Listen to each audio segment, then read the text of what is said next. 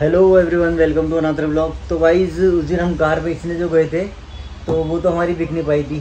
तो आज हमसे जो गाड़ी लेने आ रहा है वो आ रहा है रेफरेंस लेके मिस्टर अदनान का। तो मिस्टर अदनान बैठे हैं बाहर। तो देखते हैं चल के इनकी पार्टी आने वाली है हमारी गाड़ी देखने।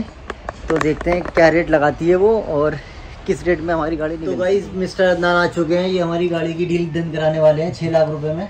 हमारी ये डिमांड है बाकी देखते हैं। कितने रेट के लगवाते हैं। और मैंने इनसे कह दिया है कि बीच में कुछ चौड़ी ना कर लेंगे तो इस वजह से और गाइज़ इनका जो काम है ये गाड़ी वगैरह बेचने का है सेल परचेज का तो जिसको भी कांटेक्ट करना हो इनसे मैं आपको नंबर अपना डिस्क्रिप्शन में दे दूँगा इनका भाई का। तो जिसको भी गाड़ी लेनी हो या बेचनी हो तो वो भाई को कांटेक्ट कर ले। मेरे भाई है। और इनका जो काम है कहाँ पर है तुम्हारा ऑफ़िस प्रीत विहार। ये इनका ऑफ़िस जो है वो प्रीत विहार में है।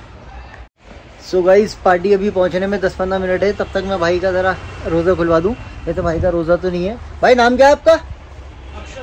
अक्षत। नाम है भाई का जो कस्टमर वगैरह लेके आए। और बाकी अपनी तरफ़ से जो है अदरान भाई हैं।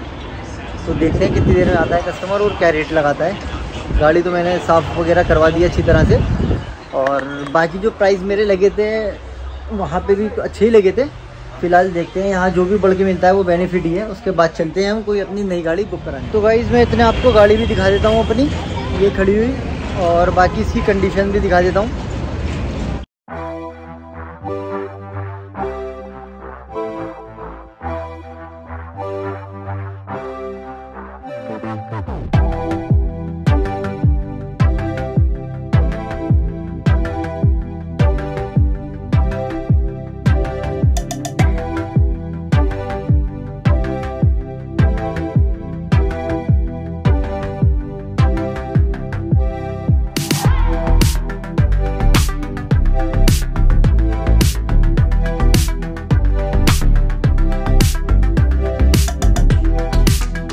तो भाई, जो कस्टमर गाड़ी लेने आने वाला है, वो आ चुका है फ़िलहाल। अब चलते हैं बाहर और देखते हैं कि किस तरह से वो सर्वे करेगा गाड़ी का। तो डिमांड जो हम रखने वाले हैं, वो छः लाख की ही रखने वाले हैं। और बाकी जो कुछ टूटेंगे, बीस, पच्चीस, तीस हज़ार, पचास हज़ार भी टूटेंगे, कोई दिक्कत नहीं है, दे देंगे गाड़ी। तो भाई कस्टमर वगैरह आ चुके हैं अपने, जो गाड़ी का सर्वे वगैरह कर रहे हैं। तो देखते हैं अब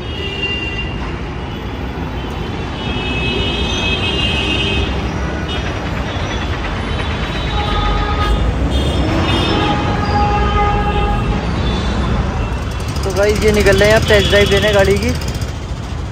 और अब आप मेरे पास सब कराते हैं भैया। सब कराते हैं भैया सब कराते हैं। आप मेरे पास गाड़ी परचेज करने आओगे? आप कंपनी में चेक कर तो भाई जो मिस्टर दान ने हमारी वैल्यू लगवाई है गाड़ी की वो लगवाई है पाँच पैंतीस। मतलब इन्होंने डील डन करने के लिए जो बोला है भैया को पाँच पैंतीस बोला है तो वो अभी सोच रहे हैं क्या करते हैं। वैल्यू तो वैसे कम लगी है गाड़ी की। लेकिन फिर भी वो भैया कह रहे थे कि इसमें थोड़ा बहुत काम करवाना है। और ये हमारे मिस्टर अदनान। तो आपको अगर कोई गाड़ी चाहिए हो तो मैं इनका नंबर इसमें डिस्क्रिप्शन में डाल दूँगा आप इन्हें कॉन्टेक्ट कर लेना। चीज़ देख के मैंने आपने सीधे सौ पाँच बोलते मैं सौ साढ़े पाँच से सीधा आ गया। लेकिन सीधे मैंने पाँच हज़ार बढ़ाए आपने उससे ऊपर नहीं बढ़ रहा है अब आप ये देखो मेरी बात तो सुनो मैं लेने आया हूँ मैं ये नहीं सोच रहा कि मैं कहता हूँ लेके जाओ मैं जाओ मज़ा नहीं है पाँच पाँच तीस फाइनल कर दिया आपके लिए बस आप देखो भैया, पाँच हज़ार अब मेरी बात इसको मत मेरी बात ये गाड़ी मेरे को पड़ जाएगी पाँच लाख साठ पैंसठ हज़ार। ठीक है? बिकनी मेरी बात सुनो। बिकनी है गाड़ी कितने की? पौने छः लाख रुपए की बिकनी हाँ पक्के में कराएँगे अब।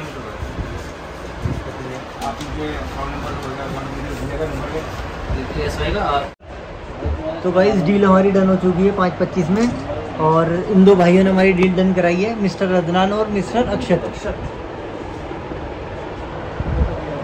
तो भाई अब थोड़ी देर में चलते हैं, देखते हैं, अभी डिसाइड करते हैं कि कौन सी गाड़ी लेनी है हमें और निकलते हैं फिर हम बुक कराने।